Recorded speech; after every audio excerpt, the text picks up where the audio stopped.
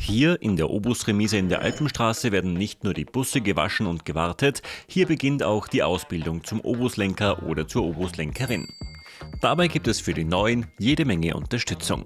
Also ich finde es sehr faszinierend, vor allem wenn man da an der Straße hockt und zuschaut. Ich mache das gerne an der Pferdetränke vorne so, weil das ja das scharfe Eck ist, wo es rumgeht so.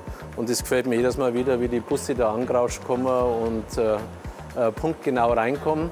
Äh, das ist natürlich Übung und der Profi macht das. Ne? Wir helfen dir durch den Führerschein, Lkw-Führerschein, dann der Busführerschein, dann die Obusausbildung. Und wir haben jetzt ganz neu auch die Unterstützung bei den Deutschkursen für all jene Kollegen, deren Deutschkenntnisse nicht ganz so gut sind, also unter B-Level.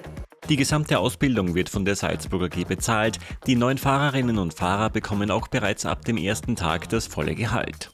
Erster Tag fangst du an, kriegst sofort brutto 2850 Euro, machst die Fahrschule, hier finanzieren wir vor und dann unterstützen wir dich während des ganzen Ausbildungsprozesses. Nicht nur das Fahren ist wichtig, Tarif, Oberleitung, das ganze Equipment, was man braucht dazu. Wichtig, dass man das beherrscht. Und das Allerwichtigste, die Fahrgäste.